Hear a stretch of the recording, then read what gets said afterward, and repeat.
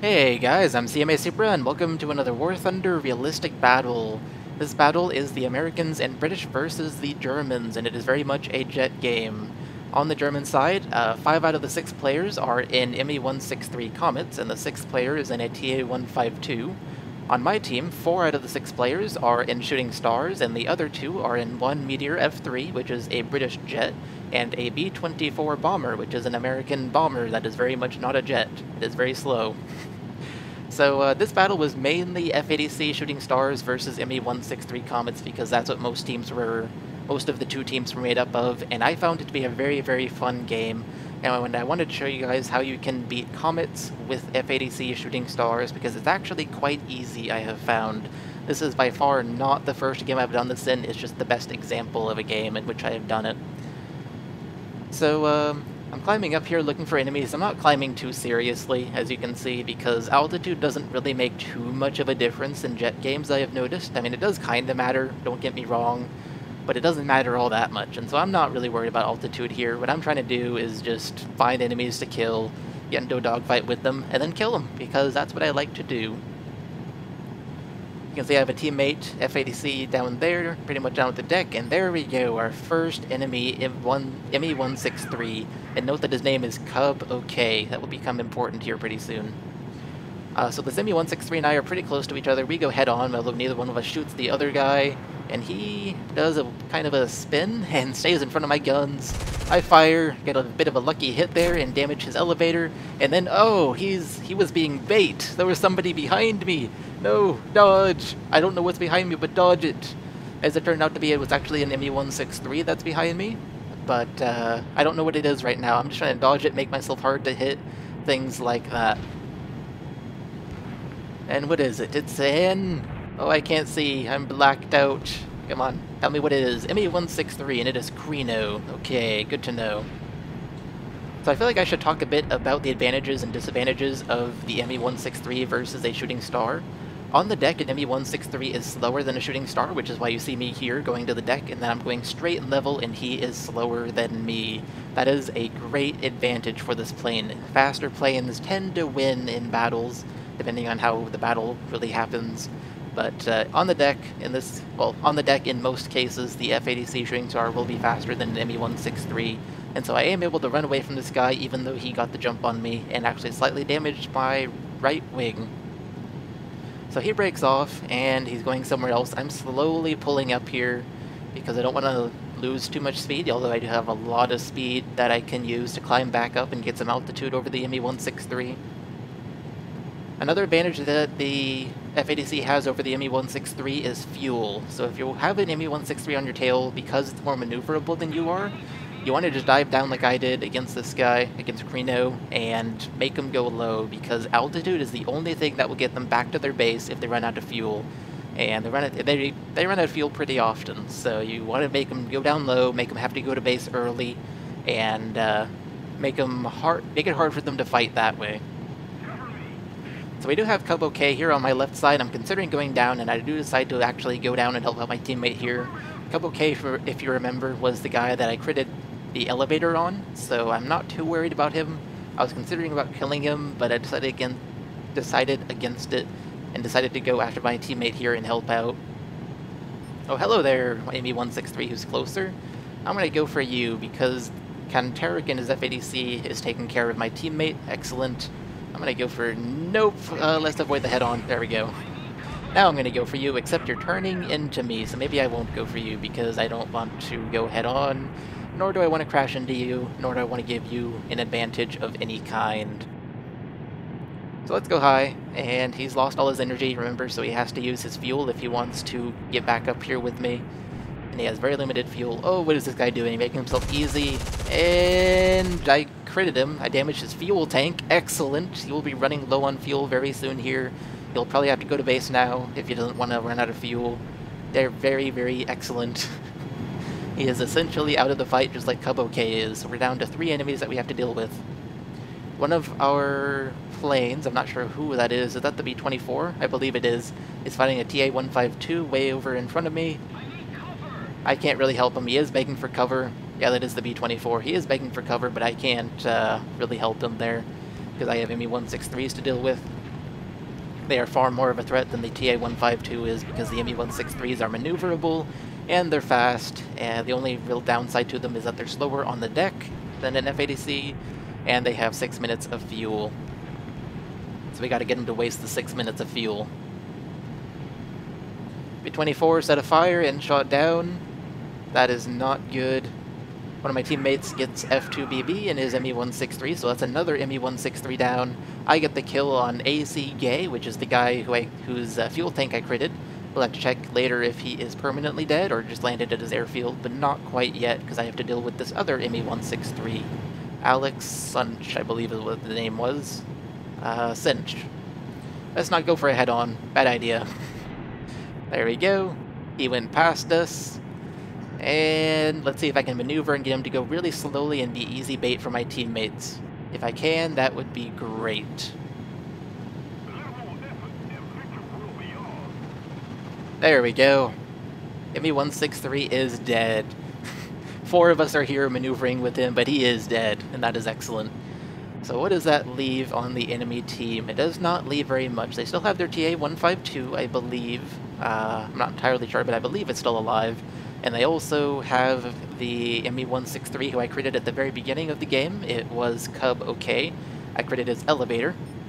And uh, they also have Kreno in his ME-163, although he just crashed at his airfield. So now I can see what they have left. Kreno, Cock, and Cub OK.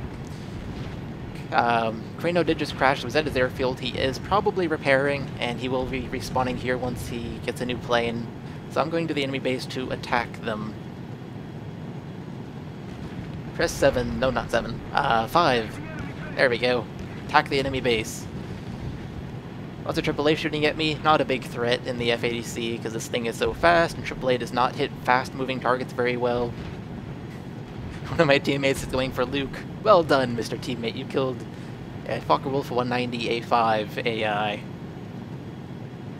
Aircraft destroyed. Excellent. Cub OK has crashed. Is he out of his plane? No, he is not. So he is on the airfield repairing, and there you can even see him on the airfield and repairing. So, um, there, that means two planes are over here repairing. There's both Kreno and Cub OK. That is my second kill this game on an ME-163, except this one is not a permadeath for Cub OK. He's still in his plane. Couple of Dornier 217s over here circling the enemy base. I'm not actually too worried about the uh, AAA at the enemy base, so I'm just going for it, but then I actually see Kreno has respawned already, so let's run away to the deck, let's be fast, and get my teammates to help me out here. And... Oh, hello there, Cook. What are you doing in your TA-152 right here behind me? How dare you? and he paid for that by the Meteor F3 shooting him down very quickly. Nicely done. So what do we have left? Two ME-163s to deal with, I believe, unless I'm mistaken. Has Cub OK repaired himself? It appears he has not yet repaired himself. I don't know though, maybe he left his plane, maybe he was not getting repaired, he crashed too hard, who knows. So Kreno and I just did a head-on. Uh, neither one of us shot, because neither one of us wants to die anytime soon. And then he goes, does he go for one of my teammates? No, but he goes in front of me, which is good. Oh, and he pulls up. What is he doing? What is he doing? Why is he being stupid? Oh, this plane does not want to roll. one of the downsides to this plane is it does not like to roll. Does not like to roll at all. Alright, I'm still behind this guy. And he's making himself a hard target. He's not actually getting, getting into a turn fight, which is interesting, because I am faster than he is at this altitude. I don't know why he's not getting into a turn fight, but he's not. Cub OK is still in his ME-163 coming this way. I bet uh, is trying to get him, uh, Cub OK to come help him. I, I bet that's what's happening here. So I break off because I know that they're going to be working together, and uh, was doing a good job making himself hard to hit, and I don't want to try and waste my ammo. That would just not be a smart thing to do. So I, I go high. A teammate, Kantarik in his F-80C, is in a fight with those guys. He's in a turn fight, which is not very good to be in. Oh, can I get Cub OK? No, I can't, because he's too maneuverable and fast. Alright, let's just go around, and hopefully I'll get a shot on him. Who's in front of me here? Somebody just went behind me, that was Kreno. Cub OK is in front of me. Let's go for Cub K. And oh, he was he was going downwards and I did not correct for that, so I missed those shots. And now it is time to run away because I have two of ME-163s behind me, one of which is very close to me, 0.7 kilometers away. And I want to run away from him. And uh, Greeno actually ends up breaking off. He's still alive after that head-on with the F-80C, I believe it was. Both these ME-163s are still alive, amazingly. I wonder how much fuel they have left. I don't know. I do have the altitude advantage over these ME-163s, which is excellent. So here I faked going for Cub K, and so I'm able to get shots on Greeno, and I get a few hits only, no crits, but that's fine. As far as I know, I don't actually own the plane, so I don't know this for sure, but as far as I know, it's actually a lot harder to fly a damaged ME-163 than one that's undamaged. It like, doesn't like to respond at all very well. So, I don't know that to be fact, but I'm pretty sure it's fact, and so any hits are a good thing on an ME-163. Uh-oh, he's behind me. That is not a good thing. Let's just run away, run away, and run away. I am down to 9 minutes of fuel, that is worth noting. I only have 20 minutes of fuel in this thing. Um, the most it comes with. How far away is this guy? He's he's far away. Let's go for Cub OK. Let's help out the Meteor. The Meteor will probably not be able to run to run away from Cub OK because the Meteor is actually quite slow. My teammate on the in the F-80C behind me is dealing with the other ME-163. Um, he's dealing with it pretty well, I think. He's catching up to it as far as I know. So let's continue going for Cub K. He pulls up. I'm sure he's wanting me to slow down so the ME-163 behind me can shoot me. And does it work? Does it work out in the ME-163's favor by me climbing like that? Let's turn around and find out. Oh yes, it did. He is so much closer to me now. He was over a kilometer away before, now he's 0.8 kilometers away. Now I should mention that the ME-163 who was in front of me, uh, Cub OK I believe it was, did actually kill the F-80, not the F-80C, the Meteor F-3. Uh, the Meteor F-3 ended up crashing. I'm not sure if it was because of OK or not, but he did crash.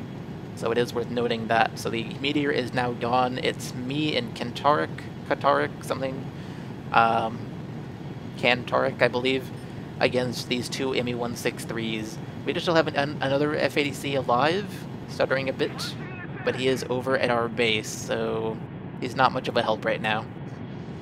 He probably got a fuel leak or ran out of ammo or something, who knows. Maybe he's just choosing to be useless. so this ME-163 is in a fight with me. I'm running away by climbing, not the smartest thing to do against an ME-163. They are really good at climbing, so I, I immediately regret, regret the decision and dive down. And let's go far, far away from this ME-163 towards our base, because he will have to turn around at some point to get more fuel. It is worth mentioning the other ME-163 uh, did actually turn around to his base before to get more fuel and or ammo, so I'm only fighting this one ME-163, not not both of them right now. He is within shooting range, he's firing at me, he's he is pretty close, but I, I have to stay as straight as possible while dodging all his shots and being hard to hit, because I need to stay straight to run away from him, my only defense against this guy. It is working. Um, I'm getting, I'm slowly getting farther away, and then I pull up because I saw that my teammate was behind me, and if I pull up and slow down to zero throttle, I can make this ME-163 easy for my teammate to hit. So I use my air brake even to slow down even more. And I'm trying to make myself hard to hit, doing flat scissors, doing rolling scissors. And my teammate is here to save me. So here we go. Uh, full throttle, close the air brake, and let's get going again. Need some speed so I can run away if I need to again from this ME-163. Come on, teammate, get this guy for me. I'm being bait. I'm trying to be my best bait I can be. Uh, this guy's really close to a rolling scissors. Will that work? Did it work? Dual throttle, air brake, slow down, make him overshoot. It works. He's down low, he's running away. Where is my teammate? My teammate is on him just under me. There you can see him now. This is excellent. Cub OK is at an altitude disadvantage to me, so I can chase him no matter where he goes, and my teammate is also behind him, and my teammate will easily catch him, which is what he does. And he's shooting at him, Cub OK has been critted. And Cub OK is shot down. Excellent. So that leaves only one enemy player, Kreno, in his ME-163, and I know that he went to his base to rearm and refuel. So I, I go to my base as well, because I am kind of low on fuel right now. Not so much ammo, not so much ammo, but uh, mainly fuel. I'm down to five minutes of fuel. So I told my team I'm returning to base, and I do return to base. Now it is worth mentioning that as I was taking off after landing at the base, um, Kreno actually killed one of my teammates. I, I believe it was the F-80C that I was just fighting with, not Kentarik, but the other one. And so it, the end result was that Kentarik and I were up against this one ME-163, and our third F-80C was dead.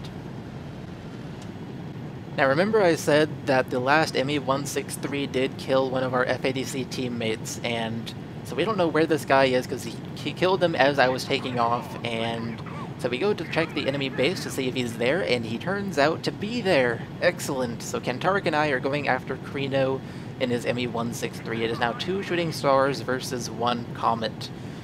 Who will win, a shooting star or a comet? Space terms. So we're going after this guy. He keeps blinking in and out of existence because of the clouds and the way clouds work in this game, and they're kind of buggy.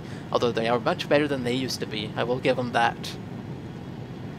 Kentarik seems to be really, really close to the ME-163. In fact, the ME-163 is between Kentarik and I. This is going to be interesting. One of my teammates, uh, I believe the guy in the B-24, who is dead, is telling us, don't fight him, you idiots, just wait till he runs out of fuel. But no, I don't want to do that. We have a huge advantage over him. Uh, there's two of us versus one of him, and we can outrun him if we need to, so why not just fight? Worst case, one of us dies, the other one wins the game. That works out fine, but let's go ahead and fight. I want to kill anyway. So here I am diving on the ME-163. My teammate is being bait, which is excellent. I fire some shots trying to scare this guy, and scare him I do. He turns left off my teammate, and I climb back up to use the speed that I gained in the dive. And uh, let's see if we can battle this ME-163 now. He takes some shots at my teammate. I don't know if he got any hits or not. I pull open over, diving on the ME-163. Sorta, kinda. I'm not taking too long, game. Shut up. Getting closer to the ME-163, and uh, let's see if we can kill him as we dive on him pretty soon here. My teammate is turning. That is not it's what you're supposed to be doing, teammate. Don't do it. You're gonna die if you do that if if he is really, really good at shooting. Which apparently he isn't. Alright, shoot some more, get him to break off my teammate. How dare you chase my teammate. Come on. Okay, if you're not to break off, I'm just to spam bullets at you, get some hits, and eventually kill you. And nope, he's not breaking off, but he's not making it easy for me either. He is doing a lot of maneuvers that I cannot follow in this thing thanks to the poor roll rate. So I go high, I dive on him again, and let's see what I can do this time. I have already hit him a few times. You're doing a flat scissors on me? Ooh, no you're not. Come on, bullets, hit! Bullets, come on. they didn't hit. Bad bullets. More like bad aim, CMA Supra. So now the ME-163 is on my tail, but because he just got out of a turn, and because I'm diving, and because we're on the deck, he is not catching me. I am easily running away from him. And so this is fine. He breaks off of me to go for my teammate, I believe. Yes, he does go for my teammate. They go head on. I would never have gone head on against the 163. It's not worth it in a shooting star. The shooting star is so much better. And then the ME-163 um, bails. I hate people like that. Kreno! It was Kreno, right? I think it was. But I hate people like that, who just bail and don't give anyone the kill. It's like, we earned the kill. Give us the kill. I even hit you and didn't get the kill. Uh, that's so annoying. But uh, he's defeated, and he's not going to repair in midair. Physically impossible. So that is everybody dead on the enemy team. All that leaves is a few AIs to kill. But before we do that, we do go and destroy some AAA at the enemy base, and then we kill the AIs, and then the game is over. So let's go ahead and go to the ending screen for this game. And here we are. So in that game, I got two aircraft kills, which were both ME-163s, and three ground kills, which were all AAA at the enemy base. So from this game, I hope you guys have learned how to counter ME-163 comets in F-80C Shooting Stars if you did not if you did not already know how. Uh, shooting Stars really seems superior in my opinion. At least every time I've come up against ME-163s, I have won because I'm able to make them I'm able to run away from them at the deck and then make them waste their fuel and ammo and have to go crash on the airfield and then they die and it just works out quite well. I actually managed to even kill some ME-163s this game, which was awesome as a bonus. But uh, like I said, this strategy seems to work out pretty well against the ME-163s, so I like it a lot. Strategy of making waste them their fuel by running away from them. So anyways, guys, that's going to do it for this video. I hope you all enjoyed it and learned how to counter ME-163s and maybe even how to fly ME-163s against shooting stars, learning what you should do and should not do. And I will see you all in the next video. Bye, guys.